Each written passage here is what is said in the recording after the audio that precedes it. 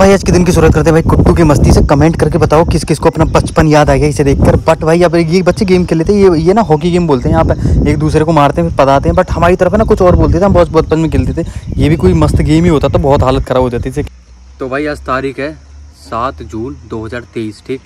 तीन दिन से जिम नहीं गया हूँ बट एक्सरसाइज कर रहा था हल्का हल्का अपने घर पे आज मैंने टुडे वन थाउज़ेंड एक हज़ार पुशअप चैलेंज लिया है।